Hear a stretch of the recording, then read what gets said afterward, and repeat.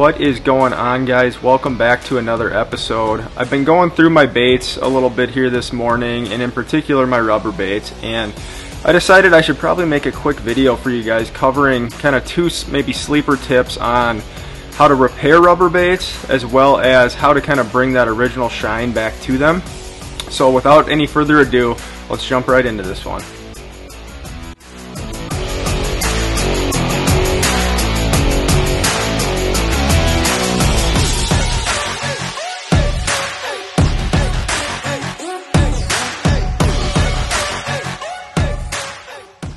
First topic that I want to cover for you guys today is how I go about repairing rubber baits.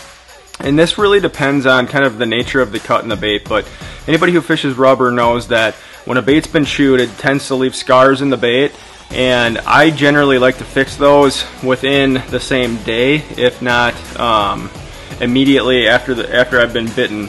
But it, the, the nature of how I go about actually repairing rubber baits depends on the nature of the cut. So I have here a Medusa, if I can get this to focus for you guys.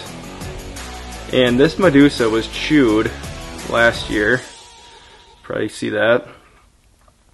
Um, this is a shallow Medusa. I pulled the hooks off. I'll actually talk about what I'm going to do here with the hooks in just a second. But um, there's a couple different types of cuts in this bait. And the first one is this cut right here on the side. This cut is what I would consider a deep laceration. Um, and the nature of it and the location of this cut allows me to actually fix this with a butter knife. So we'll jump into that first and then I'll go over how I go about fixing some of these smaller cuts in the side of the bait. You can see right there. So let's start with the butter knife technique first. To execute the butter knife technique, um, you're going to need two things to do this, and the first one is a butter knife that you've promptly stolen from your wife's silverware drawer. And I like to use a little bottle torch, a little propane bottle torch here.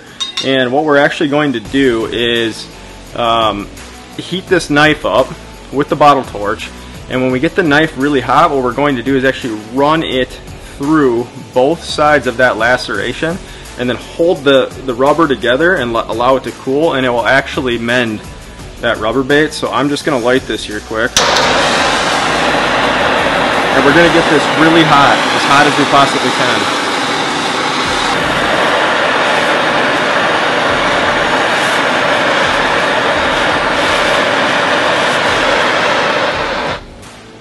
Okay, so now that this knife is basically glowing red hot. What I'm going to do, if this camera will focus, is I'm just going to run it down the rubber on both sides.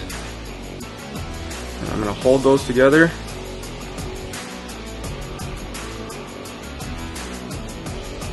And we're going to allow this to cool for just a second. And I hope that's focusing enough for you guys here. So you'll actually be able to see how I do this. As you can see, that laceration is now mended. It's not the prettiest work I've ever done, but you can kind of come in with the knife while it's still hot and smooth out any rough edges. Kind of melt all of that rubber back together. I should probably also mention that you're going to want to do this in a ventilated area. I actually have my garage door open right now in my shop.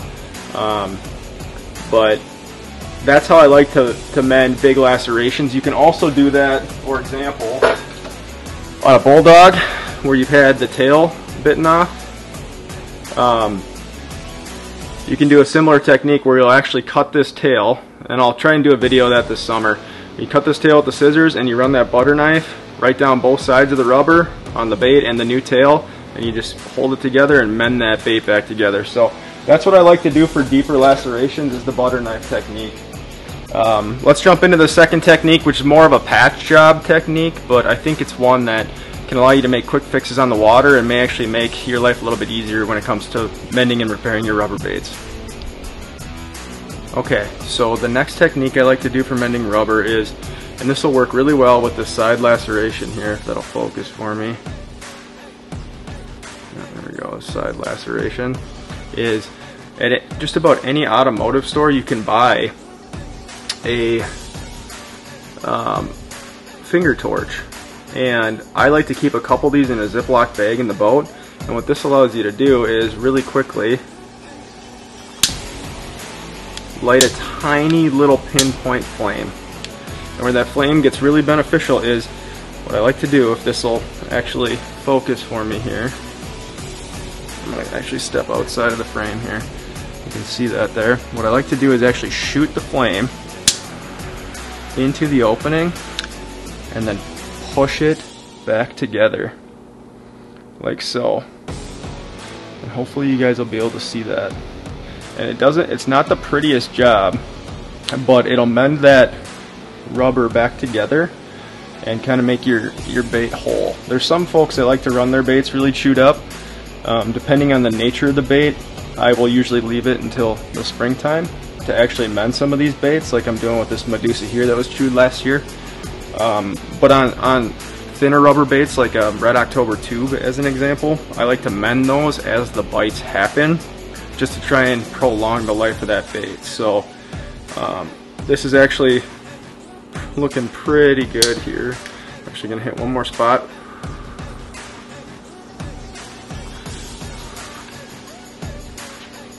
Touch it up in one more little spot here. And then I'm just squeezing that rubber back together, you can see. And uh, allowing it to, to basically cure itself back together. Um, so now, if I give this just a second here to heal up, I'm gonna patch a couple more spots while I'm talking to you guys. If I give that just a second here to heal up, I'll actually go and attempt to spread that with my fingers and you'll see that it's mostly patch.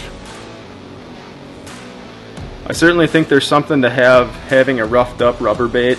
Um, some of my best bulldogs have been chewed multiple times. Um, I don't fish Medusas maybe as much as I should, but you definitely want a little bit of lacerations. It'll give that bait more of an erratic action in the water and um,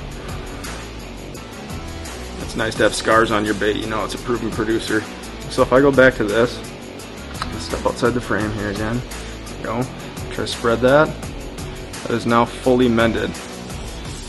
So this little finger torch here can allow you to make quick repairs on the water or with some of those side lacerations that are just tough to get into with the knife without really damaging the bait. It can um, it can allow for a pretty quick and and actually really nice repair on some of these rubber baits. So hopefully that was useful. Let's actually jump into making an old rubber bait look relatively new again. The next topic that I wanted to cover with you guys is how I go about making old rubber baits look new.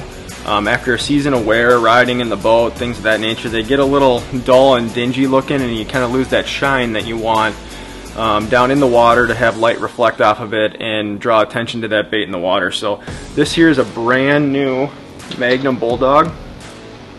You guys can see that. go.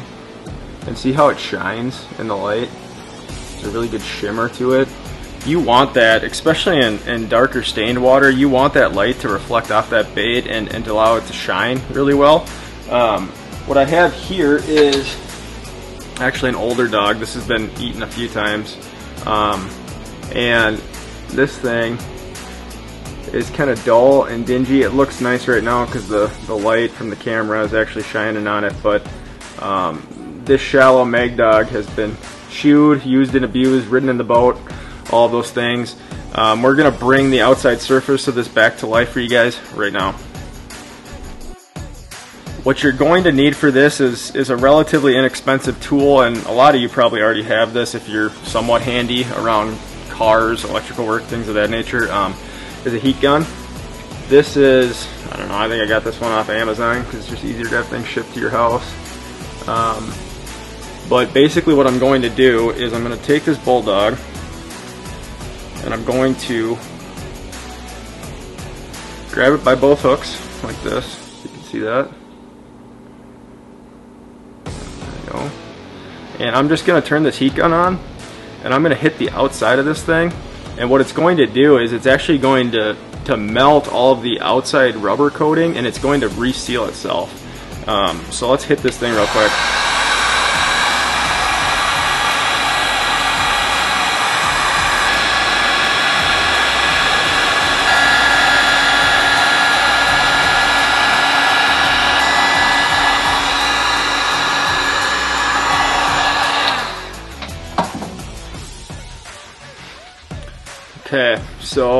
Let's see if it'll focus on this dog here. There we go. I don't know how well you guys can see that, but it's definitely shinier. We're gonna give this just a minute to cool and I'll, I'll show you kind of the finished product up right here. Well, let's take a look at this dog if this camera will focus for me. I don't know how well that's gonna come through for you guys, but this thing is noticeably shinier than it was.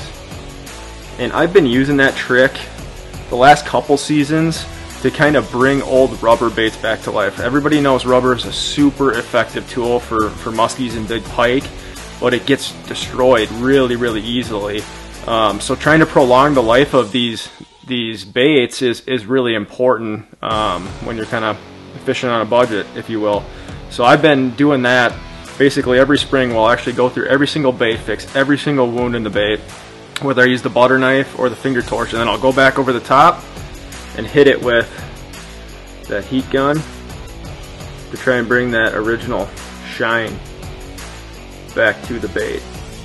So hopefully that's a helpful tip for you guys. Um, last but not least here, I'm going to show you the hook upgrade I do on my Medusas because I promised that earlier in the video and I don't want to leave you guys hanging there. So let's jump right into that real quick. So the last little tip here for this video and then I'll let you guys go is everybody knows the Medusa this is the one I just fixed.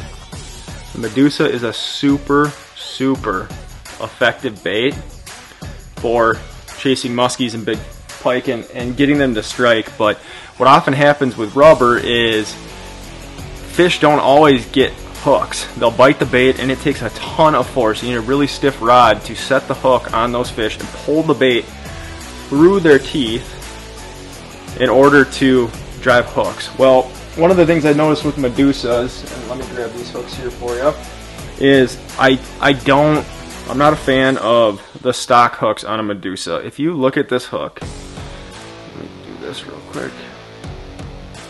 These are incredibly thick and heavy duty hooks. And it's great to have heavy duty equipment in, a, in musky fishing, but in my opinion, the diameter on these hooks is just too big. A muskie's mouth is very, very hard, and particularly with rubber baits, you need to drive those hooks home.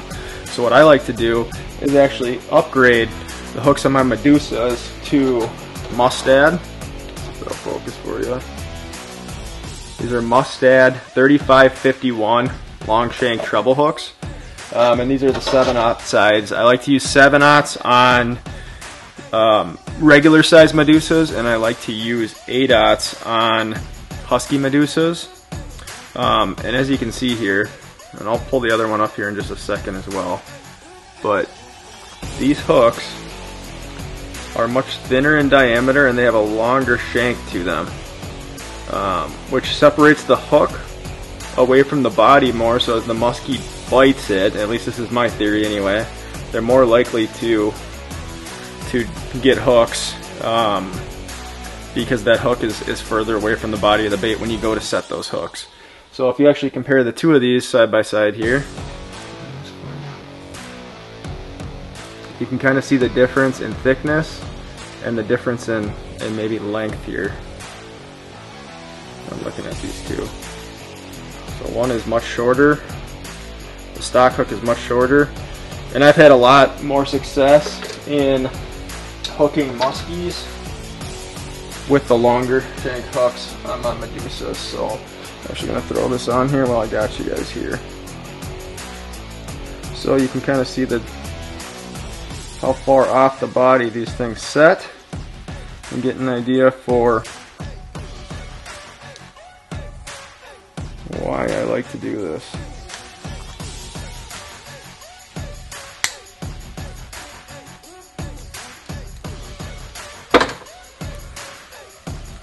See so you can see just how far off the bait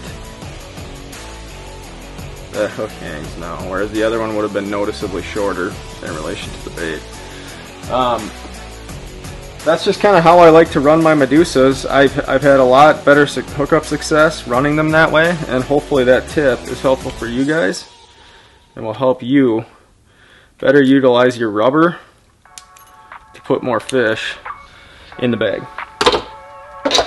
that's all I got for you guys today. Thanks for watching, and we'll catch you on the next one.